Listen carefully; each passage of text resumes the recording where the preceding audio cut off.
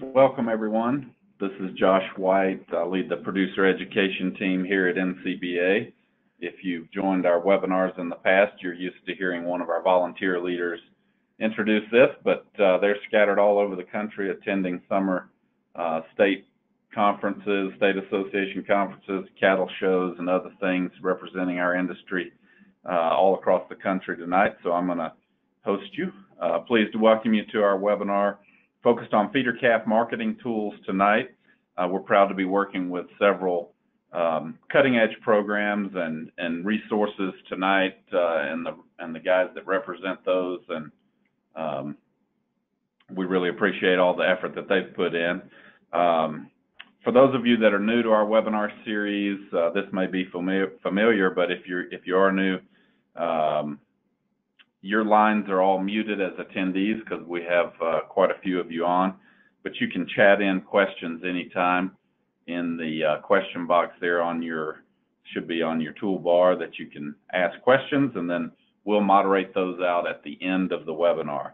Uh, if you have any trouble with the technology, uh, if you're just joining for the audio uh, or on the app and you can't see the slides very well, these are recorded and you can go to ncba.org and click on the producer tab and then select webinars and find all the recordings.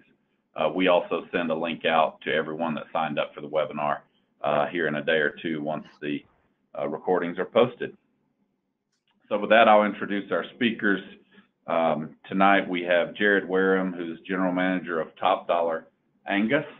Uh, also with us, Chris Engel, who's Director of Angus Link at the American Angus Association. Uh, but to kick us off tonight, Chip Kemp will will lead off. He's the director of commercial and industry operations at International Genetic Solutions. And Chip, I'm going to hand it off to you to uh, get this thing started. Josh, thank you very much, and certainly thank you to my friends at NCBA and, and to Chris and Jared. I think this is going to be a, a powerful little bit, and we I, I know I speak for all of us when we're very appreciative of this platform. So certainly when it comes to the concept of feeder calf marketing, we all know that that at times that can bring on a level of angst and anxiety that can can get a little uncomfortable. And frankly uh, sometimes that that frustration can uh, get to us just a little bit.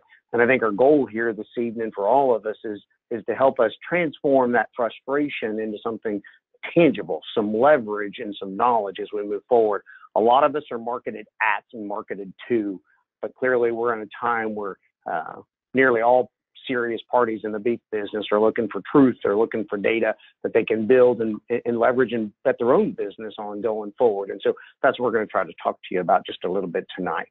And so we know I could put up hundreds of different images here to, to highlight the fact that it's a data driven beast.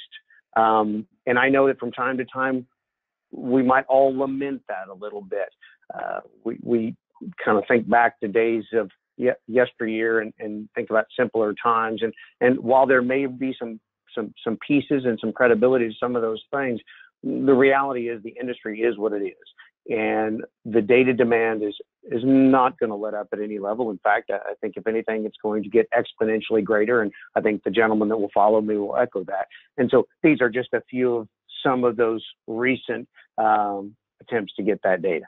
So I'm going to spend a little bit talking to you about a tool called the IGS Feeder Profit Calculator. But to do that, I need to at least take a moment to explain what is IGS? What is International Genetic Solutions? Because I would suspect that most of you, um, or at least some of you on here, are not familiar or not overly familiar with that entity. So, what is International Genetic Solutions? IGS is quite simple. It is an effort to do something similar to what many of you have to do every day, and that's to reach across the fence and shake the hand of a neighbor and work together. And so we have a huge swath of breed associations, 15-ish at present, that are working together to try to empower our commercial clients, our commercial customers to make powerful and serious decisions. How do we do that? We have the largest beef genetic evaluation on the planet. It's the only mega multi-breed eval in existence. This isn't about marketing hype. It's to set the stage for what the profit calculator is And one of the key pieces of IGS is it allows for direct comparison of cattle regardless of breed type. That's crucial to this conversation going forward. No breed bias. The chips fall where they land and where they're supposed to land. And so um, that, that's key. It has to be credible. But most importantly for this conversation this evening, IGS allows us to do something that's a little bit unique, and it allows gen- uh, genetic awareness of the biggest population of cattle in the beef business, and that's the crossbred feeder calf. And the overwhelming majority of us listening are deeply vested through that prism of that crossbred feeder calf. And so we want to think about um, how can we look at pure, certainly straight bred calves as well, um, but but specifically that crossbred population is so big and oftentimes uh, underrepresented in these sort of tools. So the profit calculator specifically, much like the other tools you'll talk about a little bit later, and appropriately so, one of the keys to what we'll all talk about tonight is we need to have some indication and some understanding of the genetic awareness and, and, and the genetic prowess of your bull battery.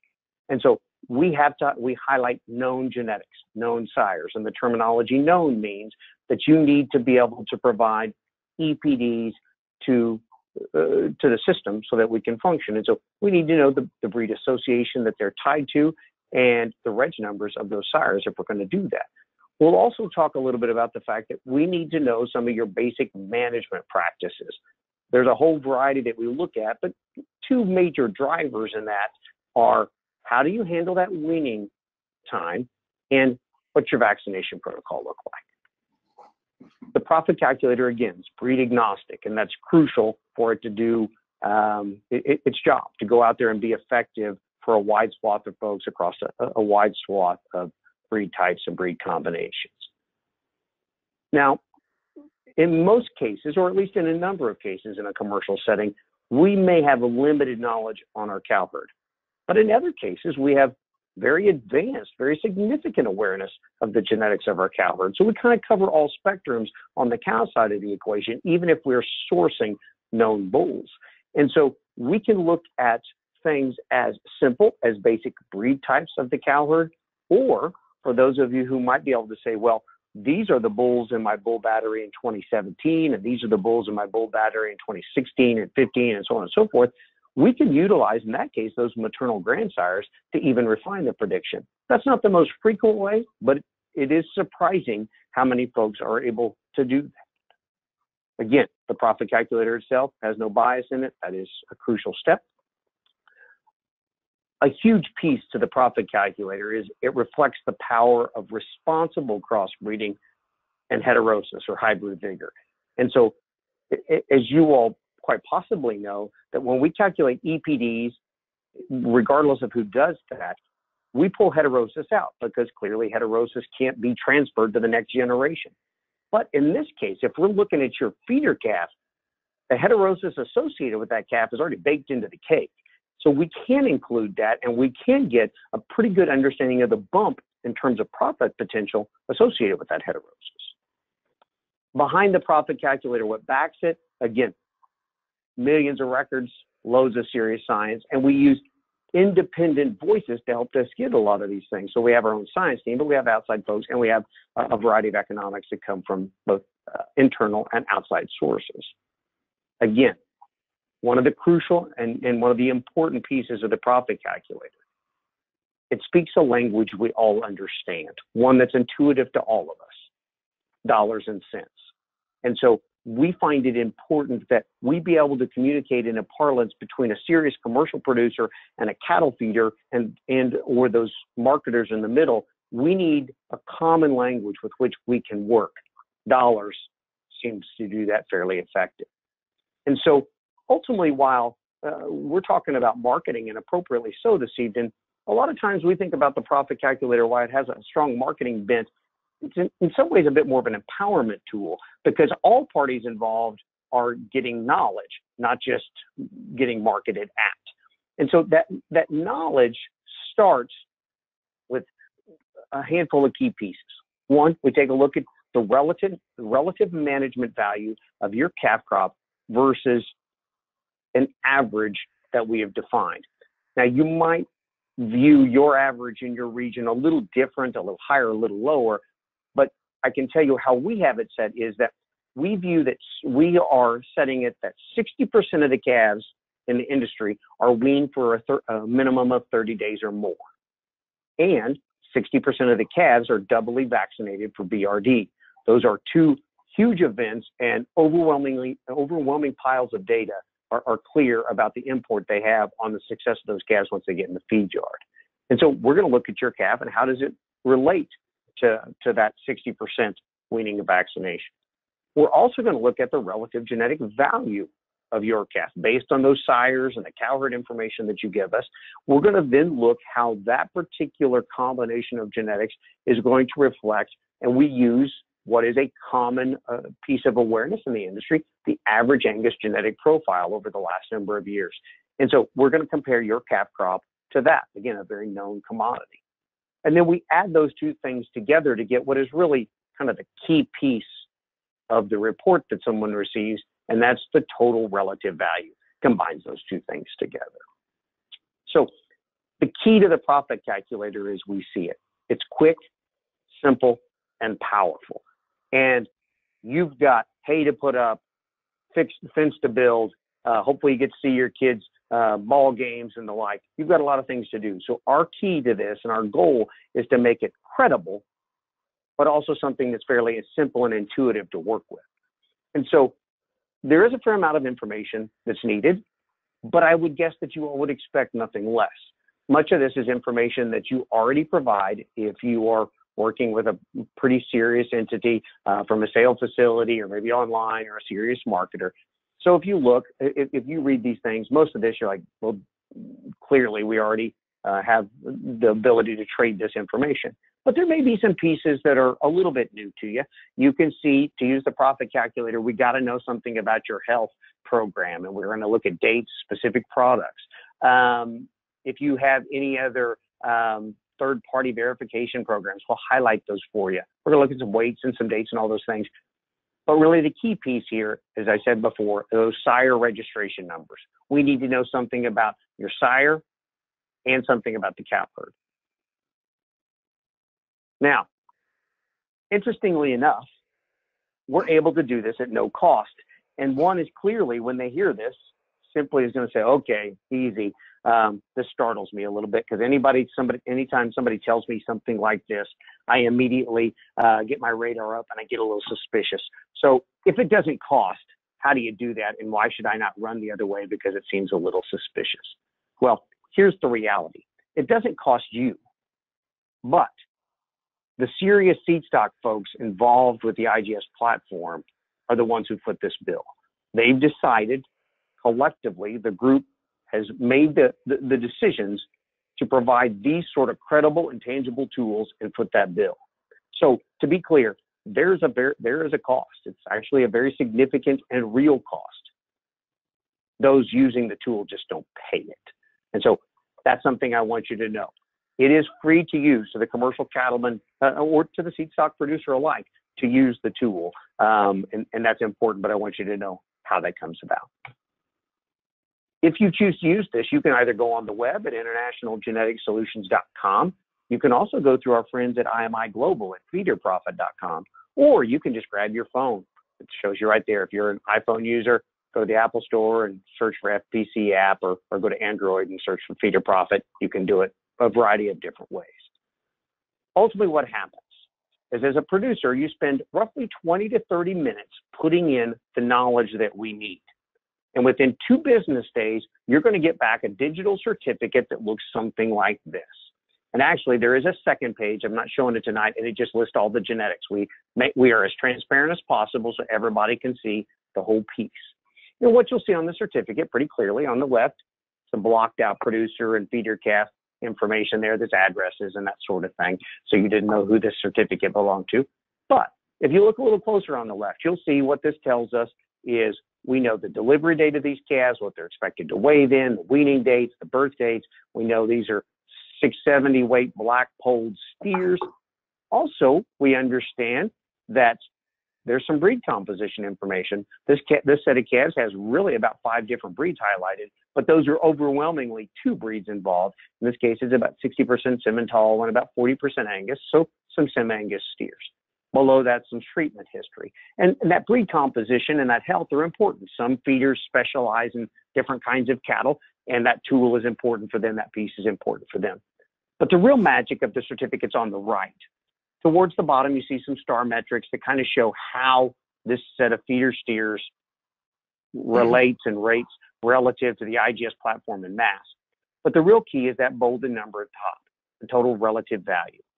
And let me tell you what that means. In this case, what that says is regardless of the day or what sale facility you're in, whatever a buyer would consider to pay for that average set of calves, as we defined it a few minutes ago, in that sale platform, whether that's in the field, in a barn, online, whatever they would pay, they could pay another 858 and break even on those calves. Now, to be clear, that buyer ain't going to pay another nine dollars just for the privilege of breaking even. But our goal here, as we started to talk at the beginning, is to have a common language so that as a seller, you can show clearly with a third party audit with somebody you have no financial relationship, so there's no interest in skewing the data, that you've added a significant amount of value.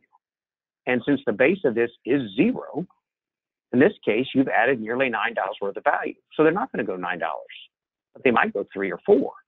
Because if they're looking at multiple pins of black 670 weight, mid six weight calves available to them that day, what we find frequently is those with knowledge are a safer bet, and they'll go a little more for those calves. That's how the common language of dollars and cents seems to work for us. And so, for that serious commercial producer, the profit calculator comes with little time, no expense. You get that third party validation. You get it in a digital format, and that's important because then you can share it with your marketers, your potential buyers, and that certificate, you also need to know we never share it with anyone without your permission, ever. The only people who see it initially are the folks, the, the single individual who will run it, potentially one other internal employee, and yourself. And you get to choose if that gets used anywhere else. That certificate for a lot of folks, they use it as a baseline of, of what they're doing. Are there opportunities going forward? We frequently, it's nearly constant. Folks will say, okay, hypothetically, if I were to view this set of calves and do this differently, maybe they hadn't intended to use a post weaning preconditioning period. Maybe there wasn't going to be any time. They were going to uh, wean and ship, but they would like to consider what value that might add. They might reach out and we say, sure, we can we can take a look at that. So that kind of thing happens all the time, or as they compare from year to year. It gives a nice decision support benchmarking sort of tool. Again, of course, like all of the tools we'll talk about tonight, it helps you stand out in the crowd and fortunately um, works well with top dollar Angus lean sort of programs. If you're somebody looking to consider cattle for top dollar and you'd like to kind of get a, a precursor look, are they are they high end cattle? Would they make sense for what Jared's going to talk about a little bit later? At no cost, you can run them through the calculator. Same situation. If if you if you were fortunate enough to use Chris's program that we'll talk about in a few minutes, and maybe it's treated you well, and you just want another tool to, again, just continue to highlight those calves, no question, you can certainly continue to do that. So it works well with those programs. Here's just a couple quick producers real fast. Uh, gentleman in the middle of Kansas, uh, Kansas, Enos Brower Holtz. I don't have time to read all this, and we don't want to take up your time doing that, but I do point out one comment there smack in the middle. First time he used this, the barn got really quiet there at F&R in Salina, Kansas. But as they started understanding what they were looking at up on the digital board, bidding got rapid, and he was con- confident that he got at least eight to eleven dollars premium on that day. He's a large producer in the middle of Kansas. Here's somebody who's a smaller producer but is wanting to get good. Dennis Ankeny is on the other side. So many of us are big producers, many of us are small. But Dennis used that benchmarking tool and made decisions going forward that put him in a better position as he markets his calves up in Washington. Or again, many of you on here are, are, are seed stock folks, and you're listening how these tools might make sense for both you and your customers. And uh, the Temple family, a large seed stock outfit in Colorado, just boils it down, makes it very simple. These are serious seed stock people. They're users of the feeder profit calculator. They're also superior livestock customers, and they sell a lot of bulls and promote the profit calculator to their bull buyers. But Beth provided a quote, couldn't be more elegant. It's very simple and easy to submit an application, and it's well worth a couple minutes it takes. That's just practical cowboy parlance, um, in this case, cow carol wisdom, and useful for us just to see the thoughts from that from that side. Now, to this point, we've talked a lot about our, our commercial cow calf or feeder generator. But I also want to take a moment to talk about the cattle feeder because this becomes essentially a risk management tool for a cattle feeder.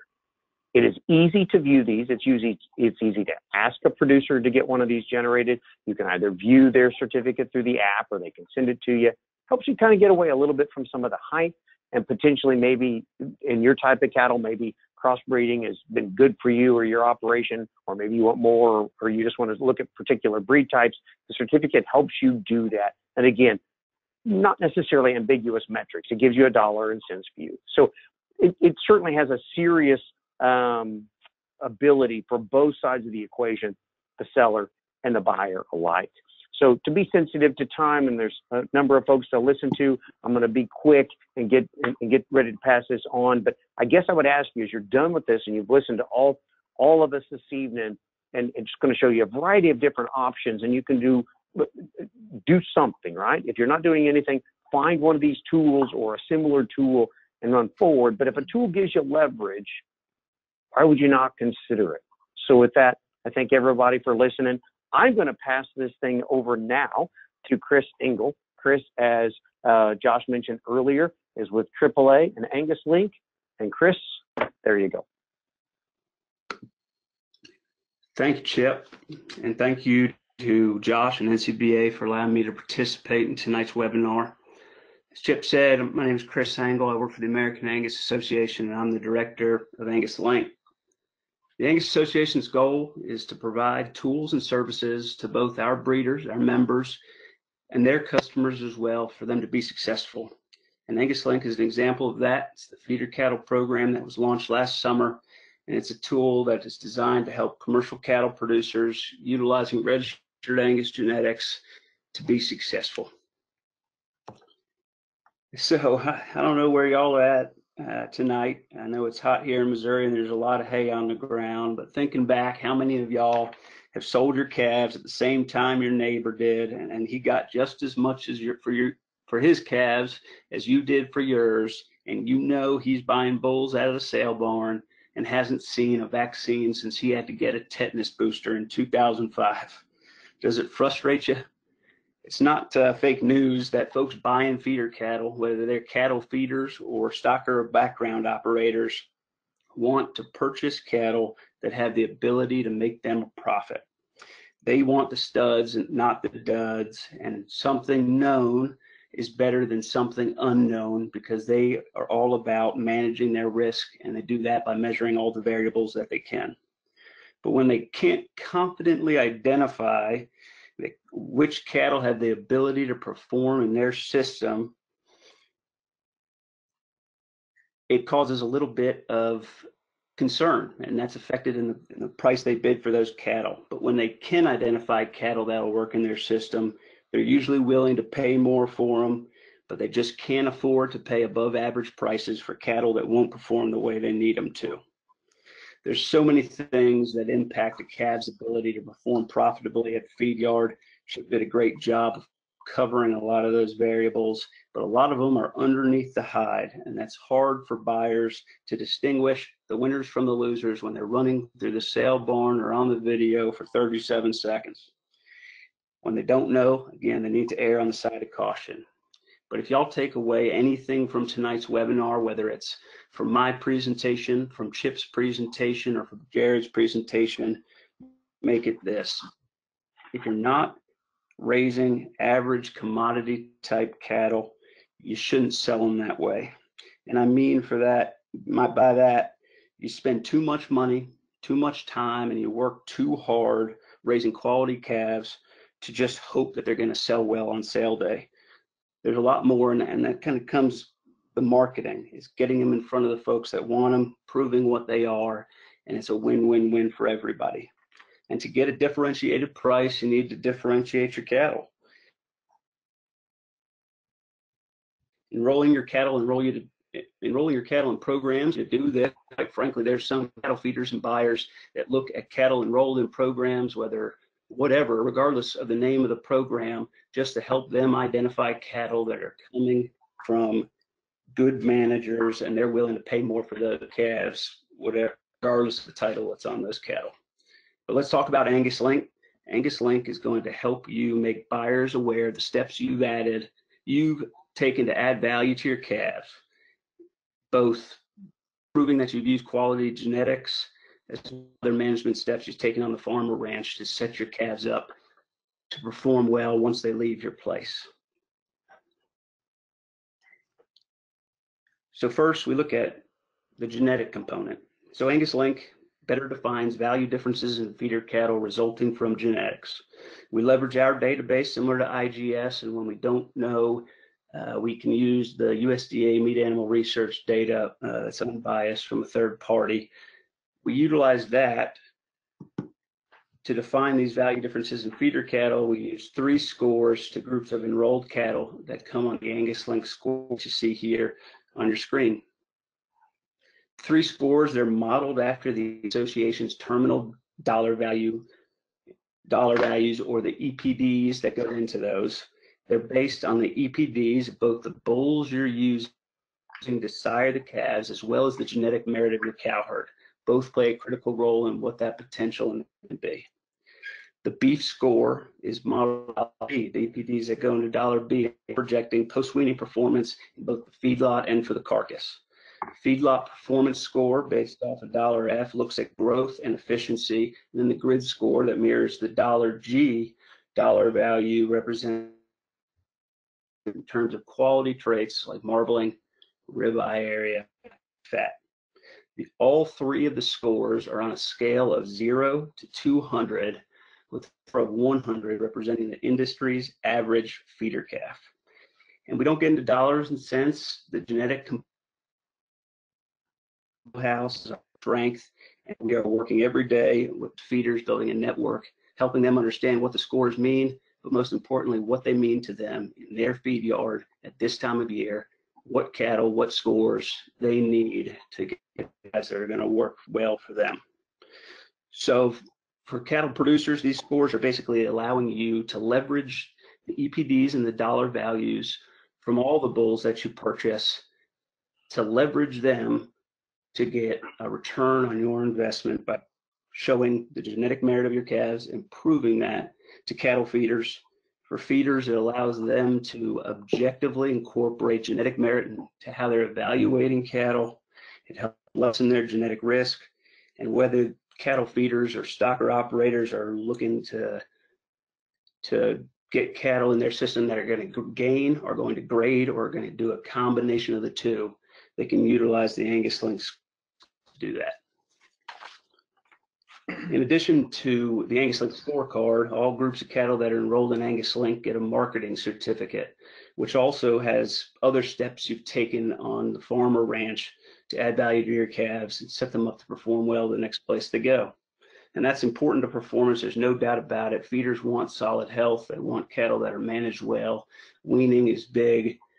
Cattle need to be healthy in order to ever have the ability to even meet their genetic potential. But you can provide more detail on what you're doing to add value to your calves with the health protocol you're using. You can include the product you're using, the products, when you're giving them or when you plan to give them, you can detail your nutrition program, your weaning and preconditioning practices. You can identify any branded vaccine programs or health protocols you're in, or any USDA process verified programs you're also enrolled in. And then, important, you can also list when and where you're selling your calves, include lot details, even the representative who's representing your cattle.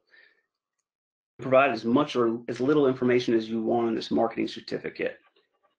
But for cattle producers who enroll in Angus Link, you have the option if you want to make your Angus Link marketing certificate public or not. And if you do, the American Angus Association Commercial Program staff will work with you, with the sale barn or video sale company you plan to sell your calves through to help promote your cattle, get them in front of a wider audience of prospective buyers. We want to increase awareness to increase interest in your cattle, and that interest will turn into more bids on sale day. So as we're working with feeders in and out every year, our we're we're, we're getting certificates that are made public in front of them to help them identify cattle that are selling that are going to work for them.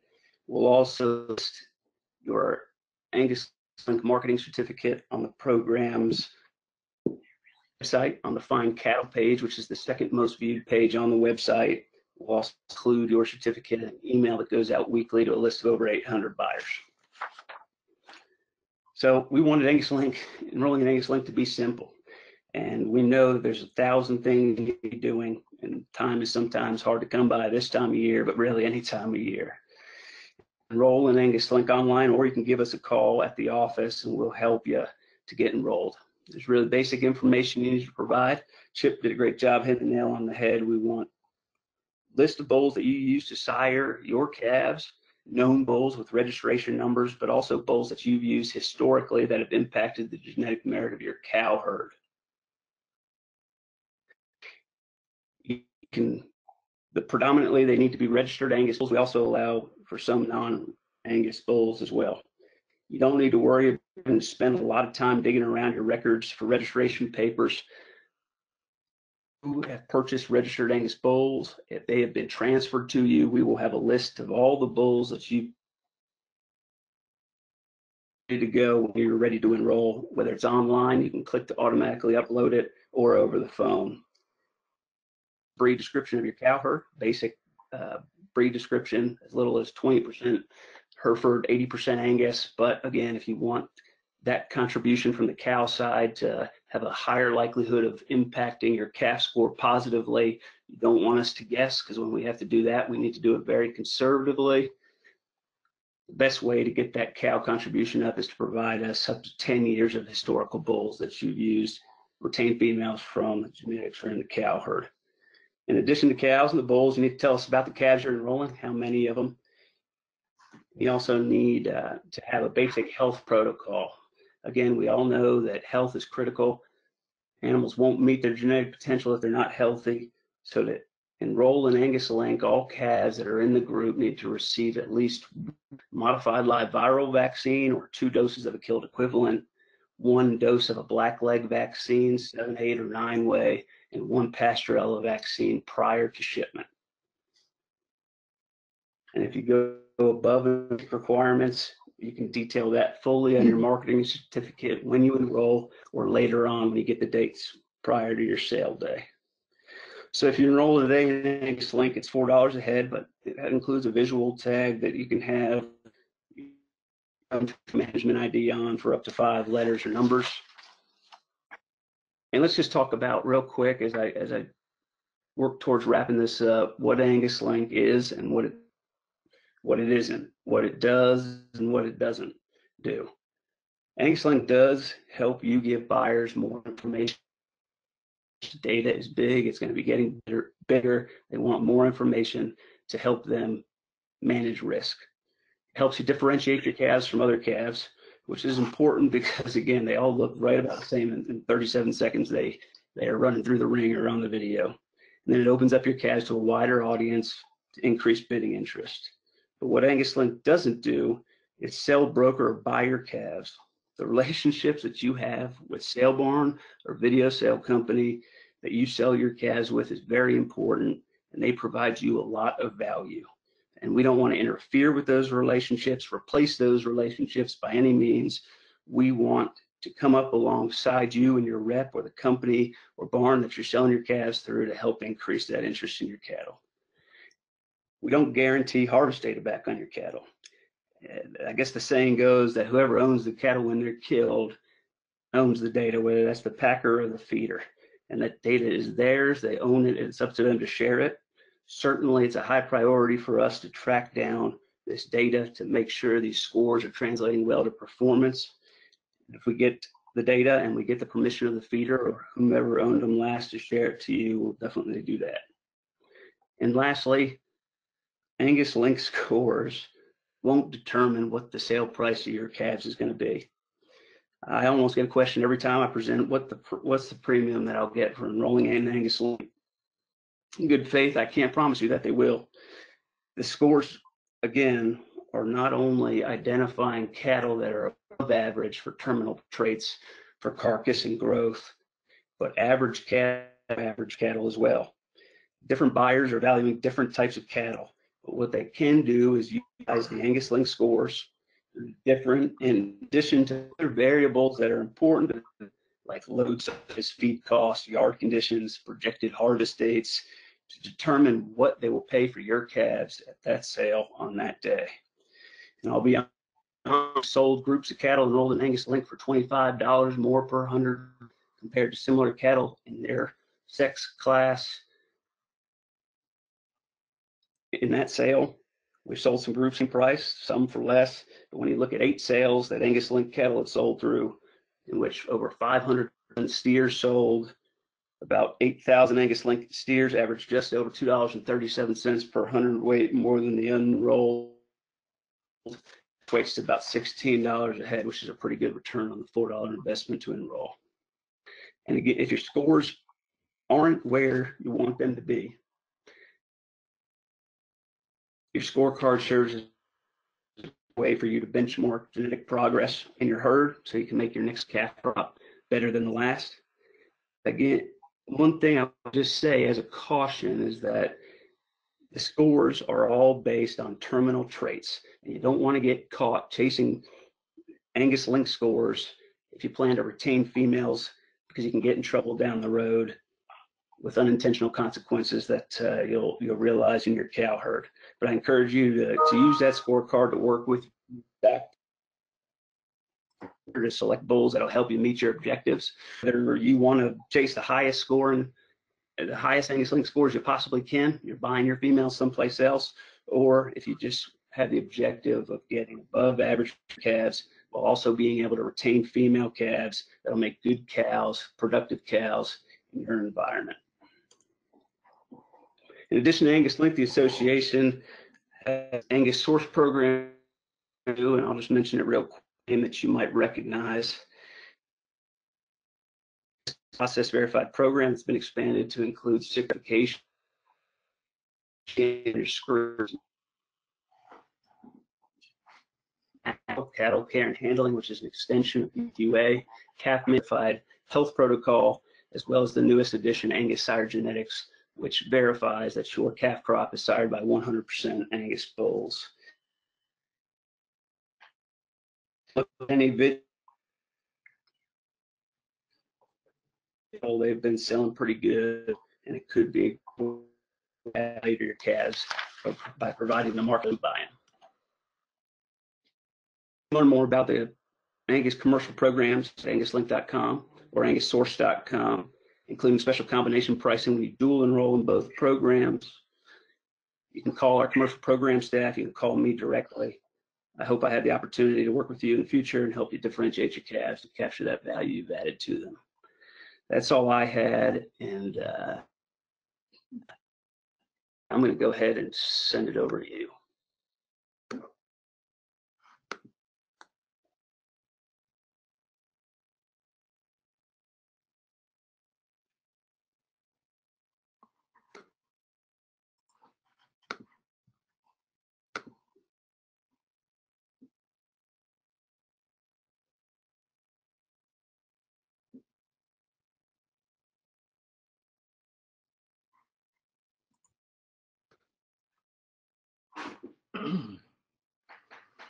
All right, does everybody hear me? Sounding good.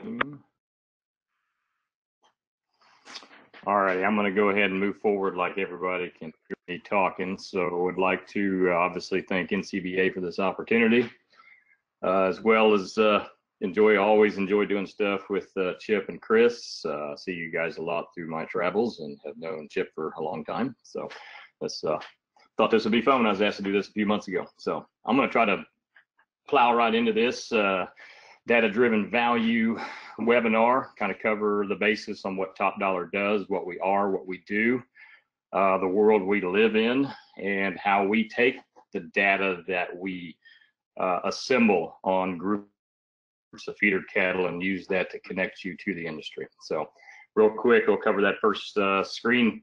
I used it because it's an awesome picture. Uh, thought it looked cool and impress everybody, so I threw that up on the very first slide. Uh, that's actually a picture got a few weeks ago at Wagonhammer Angus Ranch, one of our 120 seed stock partners coast to coast.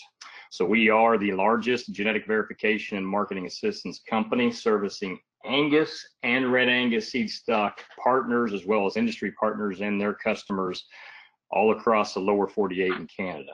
When I say industry partners, that would include uh, some of the uh, strategic partnerships we're beginning to form or have formed. We've got a great relationship with Method Genetics that it is completely my fault that I have not expanded on that as much as we have, just simply being busy. But uh, uh, if you ever want to check out a database that truly has power behind it from a data standpoint, you will not find one that is more powerful than theirs when it comes to information on Angus cattle it's just the sheer number of phenotype records they have from birth to harvest is uh, is substantial. So to be able to use that as a metric to help our customers uh, is exciting to me. Would like to delve into that more, as well as our partners that uh, we're finding in the industry, such as Select Sires and some of the other semen companies. We're really starting to get some stuff done with this. So keep an eye on that. we will have more to announce uh, hopefully over the next month or more with some additional stuff we're working on. I think will be exciting. But uh, really quick, let me make sure I'm okay. So what does Top Dollar Angus do? Um, kind of just uh, go through it real quick. We are a vetting or a verification company or third party auditor of populations of cattle, calves, feeders, heifers, grass yearlings, cows, you name it. We we look at populations of cattle um, and try to determine. Uh, I'm going to steal somebody's terminology that uh, they just used in a meeting I had last week, but we try to determine that 24 karat gold and separate it from the pack.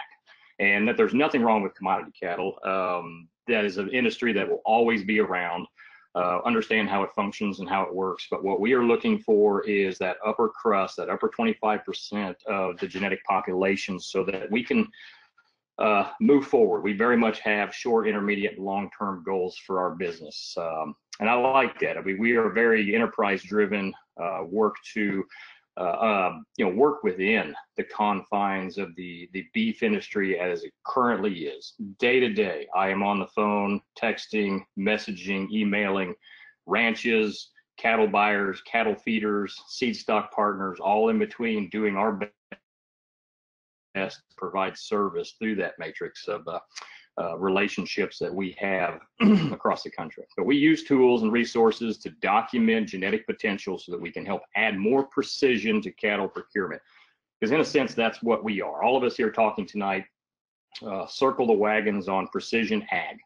Uh, being able to mitigate risk for each stakeholder in the supply chain.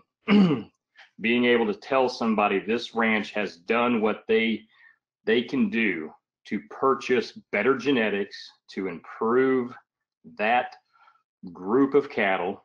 And they have also done all these other little things that go with it to make those cattle as valuable as possible, or i.e., as low risk as possible. Because I know the word value add gets thrown around a ton, but I'm going to tell you guys, we don't live in a value added industry. We live in a discount driven industry and pretend that you are starting out with a feeder calf population that's two feet in the ground. and what we do is we do everything we can to help you fill that hole back in with dirt to get you back up to ground level, ground zero, where you can get hopefully for that weight class, for that flesh, for the evenness in that you know group of cattle, etc., for that region, the top price that we can get you for that uh, um, you know, all those variables added together, which would be in a sense ground zero. To get above that is almost impossible. Anybody that can tell you you're going to get X amount premiums over this is is it's um,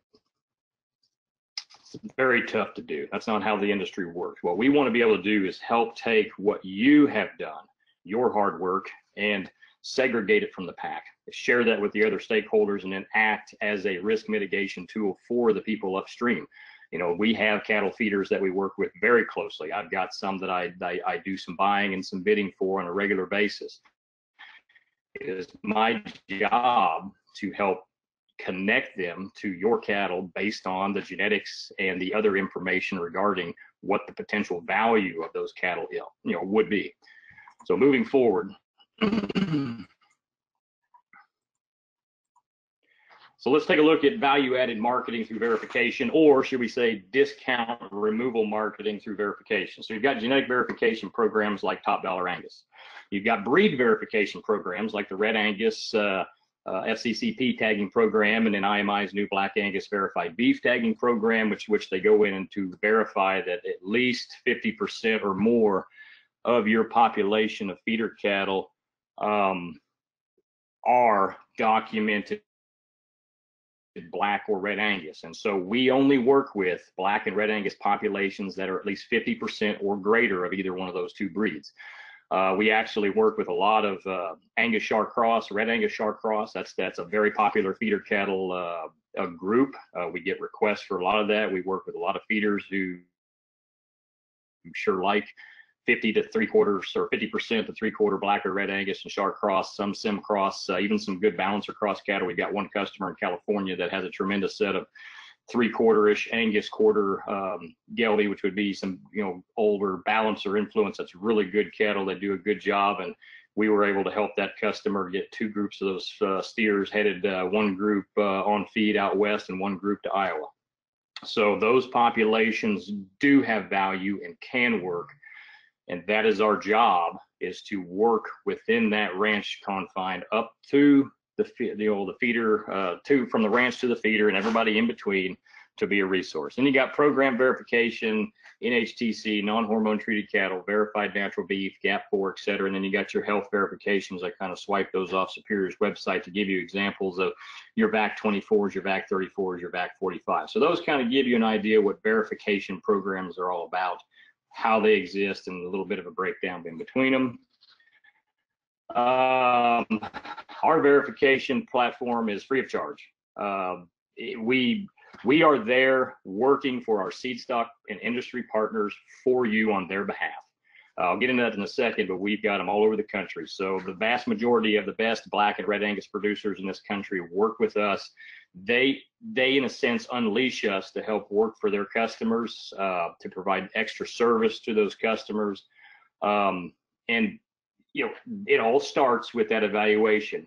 Do your cattle qualify as top 25% are they that next cut that upper crust that we want to be able to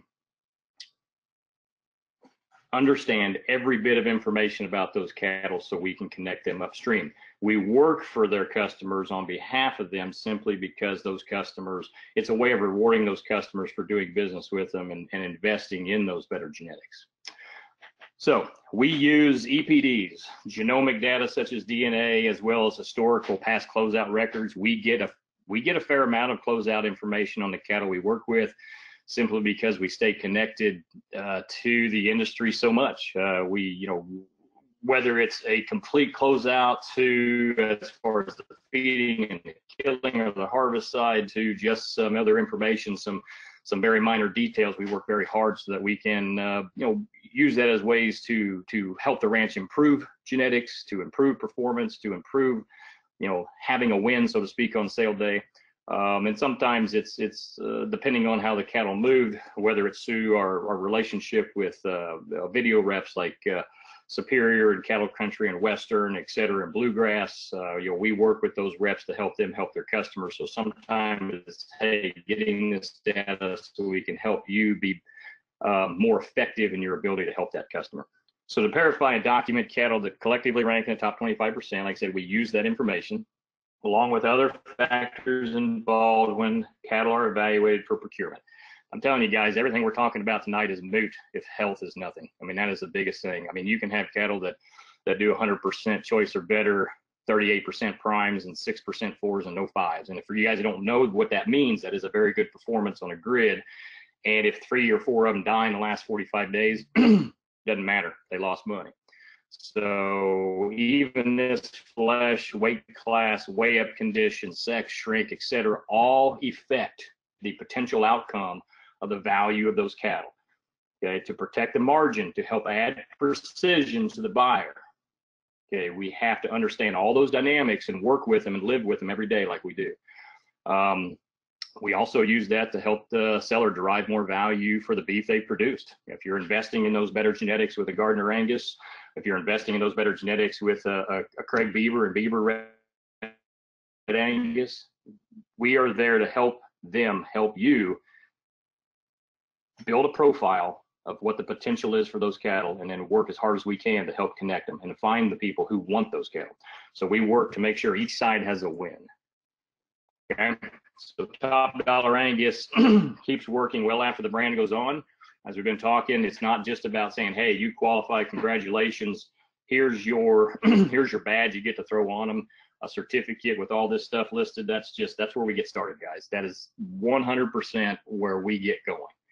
Okay, if cattle qualify to be branded as top dollar, our team gets to work connecting those cattle to groups uh, throughout the network of feed yards, marketing agents, etc whatever venue you sell in, whether it's a sale barn, video, country trade, we are there to help whoever's leveraged in your marketing process to assist them. That's what they're there for.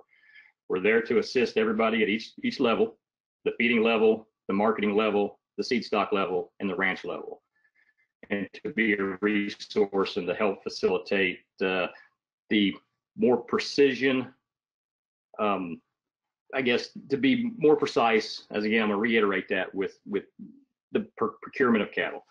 Um, so cost, it's four dollars per head plus a one-time annual enrollment fee. Now, the vast majority of our producers or ranches we work with, that enrollment fee is paid for by their seed stock partner. That is the benefit of our program. It is a way of rewarding you for doing business with us um, the $4 per head does not get charged out until those cattle sell. Last week across the country from coast to coast on all the video markets that are that uh, we had uh, bluegrass, uh, western, uh, superior, uh, we had over 4,000 head of cattle sell. Um, and that's that is up from 400% from a year ago. We are by far the fastest growing uh, entity in the market.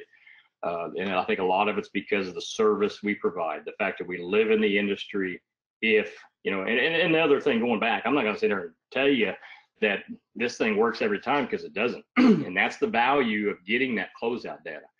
You know, if, if there's a couple groups of cattle just in the last few months that we got closeout data back on and they weren't as good as what we were hoping they would be. And then those, you know, we have to continue to adjust and learn and tweak our metric and what we use and the information we gather and how we work within the, uh, the infrastructure of the industry. So it is not black and white.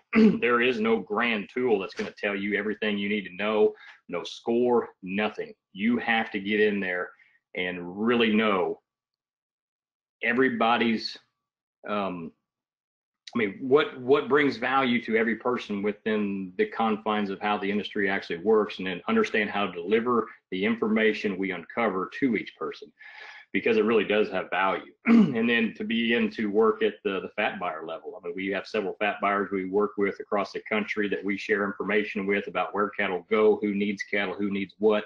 And then we can help to begin to drive some of those cattle to some of the spots where some of these packers want to get them you know whether they're going uh, to one. Uh, and, and here's the other thing: it, we believe naturally, for whatever reason, that a lot more cattle are sold on a grid than really are. Now there are regions where it is very intensive as far as grid sales, but there are an awful lot of cattle feeders that sell live and have others leveraged or invested into that marketing of those cattle. You have to understand that and be able to you know, deliver that information to those people as well. And so it's not simply just, hey, here's this and um, this is where they rank. It is specific pieces of information that we pull out from the documentation that we gather that we can then communicate and connect to everybody along that value chain that has their hands and are invested. Every stakeholder is who we have to be able to build communication profiles for in a sense to be able to drive that value to them so that we can be able to put together what we believe or we see happening from a industry standpoint as far as the, some of the supply chain dynamics that are starting to take place because guys we are focused on the upper crust of the cattle industry. There's no reason that you cannot continue to feed commodity cattle. That will always happen. We are specifically right here for a reason because you don't build supply chains around commodity cattle. Nobody's going to pay 75 bucks in a Ruth Chris steakhouse for a steak for a steer that's or a, a calf that started out as a stag in three uh, three sale barns in the southeast and it went on feed. It just there's no story behind it. There's no supply chain dynamic behind it. The industry is slowly moving and migrating that direction. So we we work within those confines to help facilitate some of that change. So okay. Seed stock and industry partners, like I said, we've got 120 of we feel and growing. I mean, we add them by the week. Uh, the best Angus and Red Angus breeders coast to coast, as well as some cattle, some guys that are breeding some or composite cattle, and Canada. Um, very proud to have Cudlobe as a part of the top dollar team. They're very well known for their certified Angus beef uh, genetics in Canada. We work with these partners to help them provide extra service to their customers of producing top dollar quality feeder cattle or placement heifers. So a complete list can be found on our website as well as testimonials, and that's growing by the the week. Um, real quick, I stole this from a Red Angus um, uh, field staff, Katie, and she sent it to me just to give me an example. And so right now, this is a Red Angus graph, and so top dollar Angus seed stock partners represent 30% of Angus producers, and of those 30%, you can see the disparaging or the difference, the differentiation between those partners that we work with, that we help their customers that are producing the upper end uh, Red Angus genetics and what they average on their bull sales versus those that don't. So I just kind of threw that into last minute. And my last slide, because it's cool, I like that picture. Uh, follow us on social media. You'll see our team at work every day. I guarantee you, we're working with cattle all over the country every day, gathering that information, using those genetics, verifying that those cattle are 50% black or red Angus. If they're if they're 50% something else, we got to know. We got to know what your cow herd is. We you cannot draw accurate assumptions without it. So I just want to uh, make sure you understand that that we are a fully documentation uh, or fully vetted in documenting not only the cow side but the calf population so information about your bulls because what you don't know is exactly what you don't know. And you know if you've got a set of really good angus bulls on a set of tiger stripes that's okay. You may not qualify for the program. We can still help you but we just have to be able to know how to communicate that information. Those cattle may be highly profitable you know depending on how they're traded. But if here's the deal. A venomous snake will never hurt you if you know where he's at. And that in a sense is you know my my cliche phrase there to say that we don't want our partners getting bit at any time. And we can help add value by being able to remove some of those danger zones or uh, items that create too much risk for anybody that is a stakeholder in that value chain. So anyways thanks to everybody involved. Uh, if you guys have any questions uh, fire it away All right, thanks, Jared. We'll, uh, we'll get to questions right away. I did just want to do a quick plug for NCBA's summer business meeting, um, before we switch to Q and I do have a few questions, uh, coming in, so feel free to jump in and, and add your questions. We should be able to get to most of them tonight. These guys did a great job finishing right at an hour. Um, but you see the information there on your screen. Hopefully visit, uh, ncba.org, click on the events tab, and you can figure out uh, what goes on at summer business meeting. All the details will be there. We'd love to have your input. That's really where the business on both the policy committees as well as beef checkoff committee meetings where producers are setting priority on how to spend your checkoff dollars. All that happens at our summer business meeting every year. Love to see you there. Um, let's get to questions. Um, and uh, all my presenters, just a reminder to unmute yourself if you're uh, if you're muted as you get ready to answer these questions. Jared, you brought up tiger stripes, and we did have a one question about uh, a little that was submitted a little earlier because no one had mentioned uh, Brahma influence in your cow herd. Uh, maybe each of you just uh, sort of give us a quick rundown on how that's accounted for. I know some of you mentioned other breeds, but didn't specifically mention Brahma influence. So how do you handle that in your program? Uh, you know, sort of what's the tolerance level? How much percentage of Brahma do you think you can can work with your program, or or do you have a rule of thumb on that?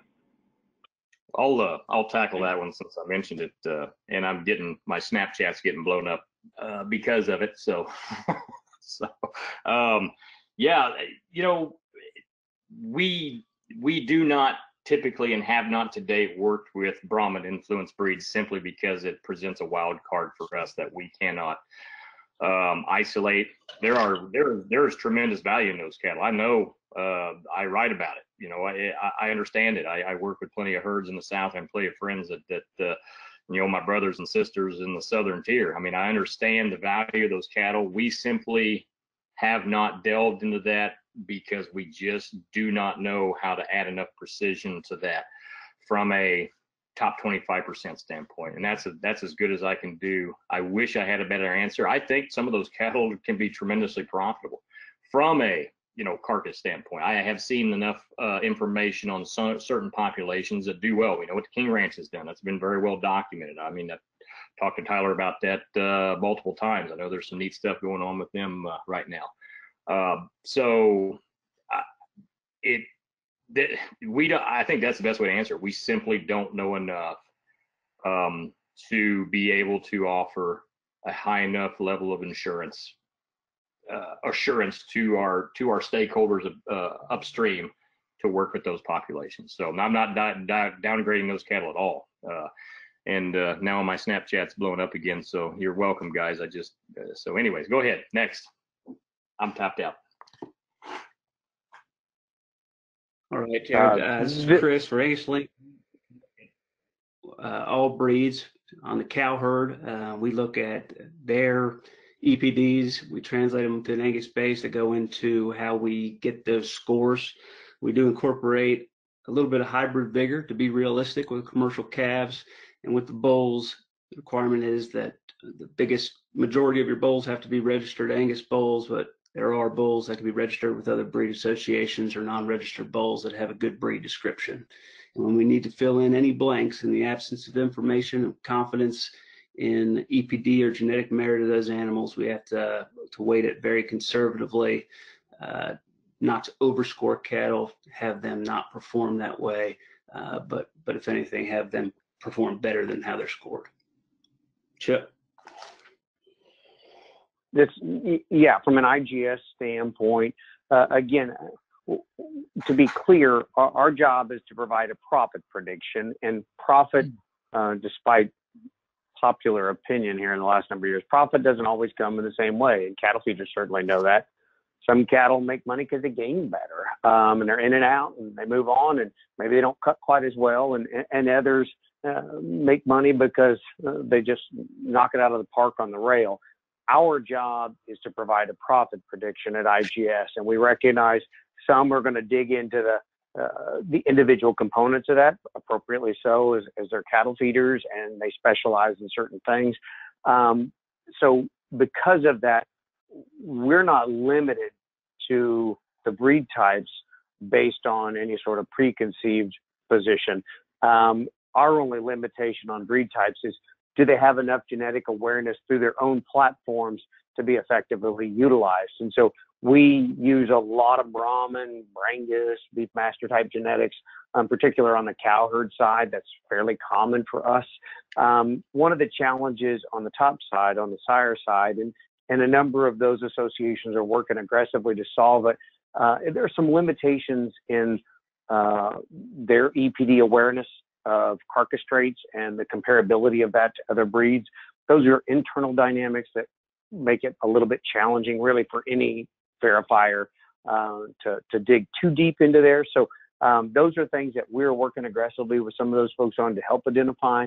But we're certainly welcome to uh, uh, to provide profit predictions and IGS information on cattle that are derived from a lot of Brahman influenced cows. Do it quite frequently. Great, thanks for that uh, great answer.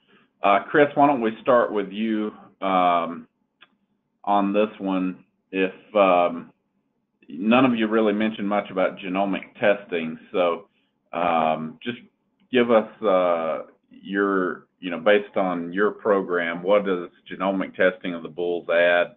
Or does it add anything to, uh, to how they're, uh, counted in your program?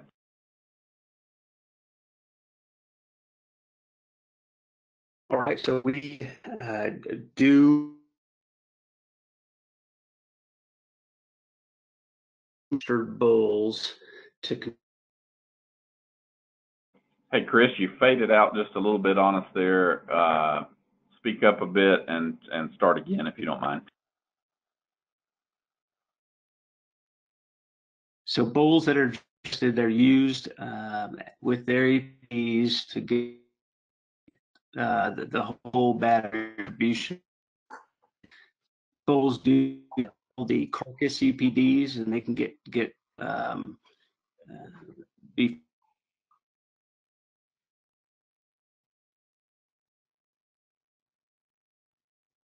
or have like animals in their pedigree that have had it done traits we need to um, again put in concerns of actual information and we do that in this style of the respective breeds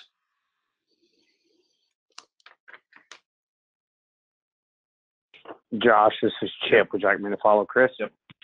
Yeah, go ahead. Absolutely. Yeah. So uh, clearly, genomics are uh, a valuable tool, and, and we all appreciate the added awareness they bring to the table. And I think all of us recognize that genomics are most powerful when they are used through the prism of EPDs, genomically enhanced EPDs. That's where the, the most power from genomic information comes. And I think if you talk to the DNA firms, uh, they would confirm that. Now, we also recognize that there are, are cases where folks aren't in a position to to use genomics in that fashion. Um, and, and, we are working aggressively. I think in the fairly near future, we'll have some mechanisms for them, but that's down the road because really our goal is to try to encourage folks to use the most powerful version of genetic awareness, and that's using genomics through the through the prism of EPDs. And so, um, absolutely use them all the time. Um, but but that's the way we get them into the system. We believe, well, there's no believe, that the facts just are, and I think any extension specialist, any uh, serious uh, geneticist will tell you that uh, genomics have the the most value when we incorporate them with phenotypes and pedigree information. That's when we provide the most robust knowledge. So that's how we do it. My turn. Anything to add to that, Jared? Yeah, I'll just hit on a couple real things, uh, or a couple things real quick. Um, the vast majority of our seed stock partners use genomic enhanced EPDs uh, in their own herds as well as uh, the bulls they sell. So a lot of the a lot of the herds or ranches that we work with are already already benefiting from that. And then, uh, like I mentioned earlier, uh, the Method Genetics uh, partnership, uh, I, I feel real strongly about. But we work with other companies. I mean, we've I've got a lot of good friends that work with Neogen and, and had a great time being able to work and help them service their customers and vice versa. We had a set of cattle sold a couple weeks here, uh, weeks ago here on Joplin Primetime Video, several loads of cattle, very high quality cattle, an Express Ranch customer, and we we actually qualified those cattle for top dollar based on their DNA scores that were set up on an indexing system through uh, their Neogen rep. so we also work with uh, you know customers that use the GeneMax test, and so we have to uh, work within the confines of all the companies that exist out there to uh, identify their metrics, uh, how to use them, how best to service their customers with them. So, so yeah, I guess that kind of covers it. Awesome. What if uh, if I'm uh, retaining ownership in cattle uh, that I've bred? Um, maybe I'm making that decision year to year um, explain the value of what you what your tools offer to me. Jared, you want to start? Yeah, we've got several customers we work with that either retain ownership or investors that uh, want to uh, buy a retained ownership position within uh, certain groups of cattle. So no different than relaying that information to a marketing agent or a cattle feeder and trying to get the uh, the bits and pieces of of the data that is going to directly influence their profitability uh, you know in in the language that they best uh, understand because they all speak a different one. Um, and so if you are you know for example we had a, a customer here uh, within missouri that uh, had a group of his own steers that we went out and helped him identify another group of steers actually used i'll throw another bone uh, a Method Genetics customer used their data identified those steers put the two groups together uh, with this individual through his marketing agent and then uh, uh, hooked them up with a feeder who owned the other 50% of them. And so uh, we were able to identify the strengths and weaknesses of his cattle as well as the other groups of cattle and say hey this is uh you know this is probably where you ought to price them to yourself because we don't we don't do that. We let the marketing agents do that but we can deliver that information to that marketing agent so he can intelligently talk to those customers or effectively communicate with them about how they should do that based on what those cattle should do based on the board they're going to kill on based on all these other factors that that way you know will affect that that chance to be profitable so yeah, that that's something that we we we deal with uh, on a fairly often or fairly regular basis. Um, so it, it, would be delivering basically the same kind of information, and then they have to make the the value judgment at that time uh, based on risk. You know, their risk assessment of where they want to be as to where they want to do that. You know, is is are the dynamics and the fundamentals within the industry set up for them to go ahead and take that risk position, or are they going to take a smaller risk position and go ahead and market those cattle? and uh, we are there to kind of help communicate between all levels and say hey this is this is maybe the decision you should make with this group or roll on if you etc And from our standpoint, you know, on the years they do choose not to retain ownership by partnering their their uh, the support from Angus Link for marketing their calves with that actual performance data. That will really do a great job of grabbing the attention of cattle feeders that'll be interested, multiple cattle feeders that'll be interested in getting those cattle to turn into bids. And, and you know that the three scores are boiling down, dozens of EPDs that, that might help um, benchmark to a certain extent have those EPDs correlating to, to performance, but and those scores as well to track it. But yeah, from from an IGS standpoint, I I think the gentlemen have both said some some pretty powerful and common sense things. We talk about the profit calculator as a risk management tool for the cattle buyer. And in this case, it just happens to be the same individual. So I think that gives them, uh, you know, tremendous amount of power to make some decisions internally. Is this a wise decision at this point in time? Does it make sense given where I'm at as an individual, given my risk tolerance, given where the industry's at? And um, as a bonus, it becomes a benchmarking tool going forward. And so as they're pondering how they uh, are evolving relative to the terminal merit uh, of their calf crop over time and over years, um, it can help them maybe this isn't the year they want to be a cattle feeder. Maybe they've looked at it and there are some concerns. Um, maybe they've approached some folks that they'd like to feed cattle with, and those folks have concerns. And so maybe they they push it down the road, but they can use this tool as a uh, as a benchmark for when they're looking for new opportunities. And then, you know, for those who are cattle feeders um, on the call, we we all know that um, anytime we straight breed anything, our, our, our cows don't last as long; they're not as fertile, and in the same vein, our feeder calves and ultimately fat calves, if they're straight bred of anything, uh, tend to to lose some toughness, lose some durability, sacrifice a variety of things. And so sometimes tools like the profit calculator can help uh, highlight responsible crossbreeding to you know minimize some of the risk, in particular late term death loss and things like that in the feed yard, um, just as we make them a little tougher. Excellent. And Chip, why don't you start on this one? Uh, this is pretty quick question. Um, so regardless of breed, if uh, if a producer has some carcass data uh, from the past few years, is there any way to incorporate that or help them out in in your respective systems? Chip, you can go first. Sure. Um, again, this goes a little bit back to the genomics question and a, a slightly different angle on it from a few moments ago, and that is how do we best use knowledge? And so the best manner to use knowledge, it's not the only way, but the best manner to use knowledge is to get it incorporated into a structured eval approach. Um, it, it improves the quality of the data and thus the quality of the output. So my strongest encouragement would be for folks who have carcass data, um, communicate with their seed stock providers. It's potential that there's a potential that that data might be able to be incorporated possibly in a way that could be useful. Um, so that's the most uh, effective way.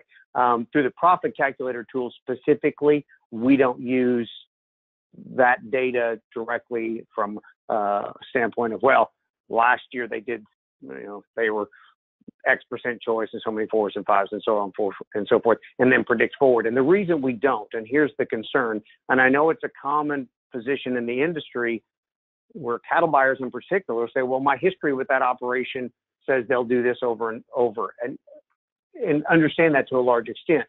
With the challenge, let's just say at my operation, dad's been making most of the bull buying decisions for a while. And all of a sudden, maybe two or three years ago, I started making the bull buying decisions. And so maybe I went in a different direction. And so that historical view of the raw data that actually was pretty stable for a long period of time may all of a sudden look radically different.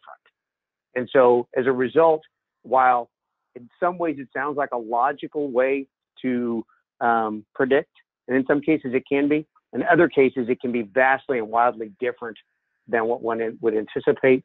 So we don't use that directly in the profit calculator.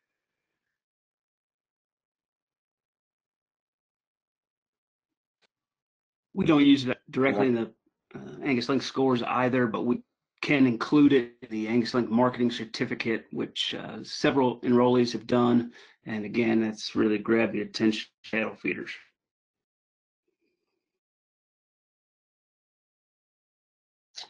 Uh, it's my turn simply because of the way we we have structured our our company with regards to things that we are also working on upstream.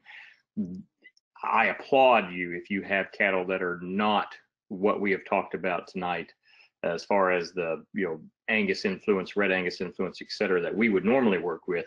That is that's a great achievement. Uh, however, we work with those populations primarily simply because of some other things that drive value above the packer level to the consumer that are tied to that word Angus. And so I, I, we're probably not going to be able to help you much there. But however, I do applaud you that you have gotten a set of cattle to do that. I mean, that that is very important. Uh, but uh, you know, we are very much tied to seeking out those populations that are at least 50% or more black or red Angus influenced. Uh, and so I guess that uh, would cover that.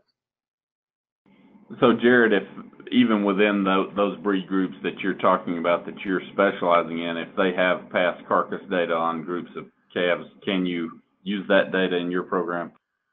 Yeah, mentioned that uh, in the slideshow. That is part of that closeout information that builds a documented portfolio or profile that uh, would then help uh, vet those populations. So we use a lot of that data all the time. Got multiple groups of cattle we're working with right now that we have several years worth of not only feeding data but uh, you know harvest data. Um, so yeah, yeah, that absolutely. Um, if you are a population that would qualify potentially for top dollar, that kind of information is extremely valuable. It, it is one more piece of information that we use that we can break down to then effectively communicate those results upstream and like we say, connect people to people with. So yeah, very important. Great.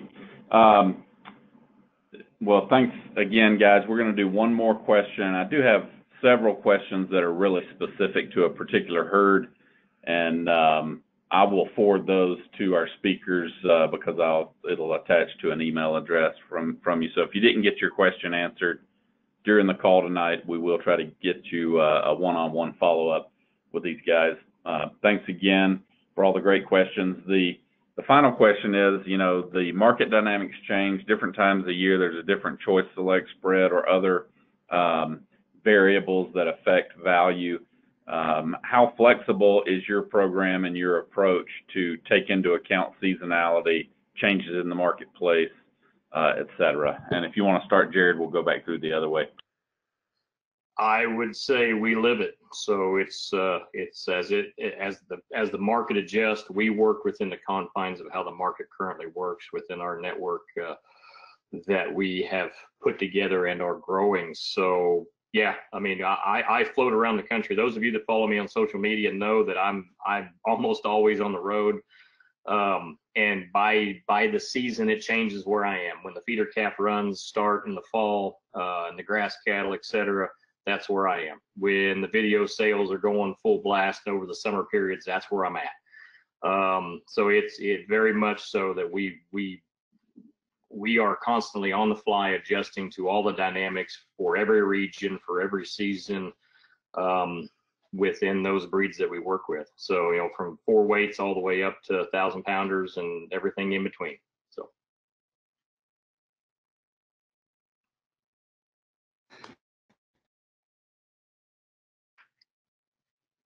variables definitely impact uh, the the industry functions, the dynamics of the industry. While while those variables associated with the cost don't affect the scores directly, certainly it affects the way we're approaching feeders with groups of cattle that are scored, uh, and and maybe shifts where looking at those scores depending on input cost to to maybe pivot and go um, sell them earlier or or hit a different market on on how they choose to then sell those cattle.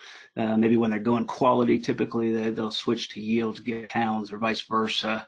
Um, but those scores are looking at the genetic potential and then how that potential combined with health translates to, to be profitable for feeders given their objectives.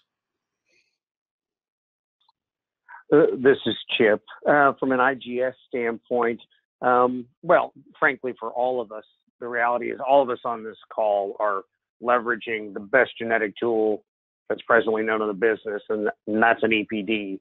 And so when EPDs are, are done effectively and appropriately, they're going to impact um, fairly evenly all the animals in these conversations in, in terms of at least the seasonality impact on those.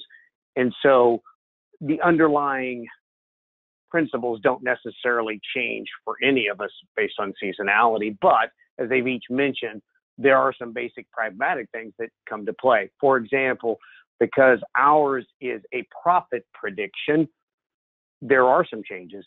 If we're looking at the same set of calves as five weights, their total relative value through the IGS system is going to be a higher number, likely, than that same set of calves if they're held until they're eight weights. In much the same way that the value per hundred goes down for calves as they get heavier as a rule, and we're used to that. Well, the range of profit potential on a set of calves is going to shrink as there's less time for the next owner to take advantage of that as they get farther away from the weaning exercise. And so health isn't quite as big a concern as it was as a lighter calf. And so that sort of seasonality in terms of how the weights change throughout the course of a year, in particular relative to a specific set of calves, can change the total relative value uh, fairly greatly. So that is probably the biggest impact on the profit calculator scores. I'll add some to that if that's all right. I tell you, you can have, uh, it doesn't matter what metric you use. You can have two identical sets of feeder cattle, one that'll kill in April and one that'll kill in June, and there's nothing anybody can do to make that set that kills in June bring what those that that'll kill in April will bring. It's just impossible. You can feed them cubes from your hand and te- teach them how to wink at you, and it doesn't matter. the the market they kill on is one of the biggest drivers of what the value of those cattle is on that day for that region, for their weight class, etc. You could have two identical sets of calves, clone them, do whatever you want to to them. Sell one in October as seven weights and one in November as, as seven weights, and there's a huge difference in their value simply because of when they will kill.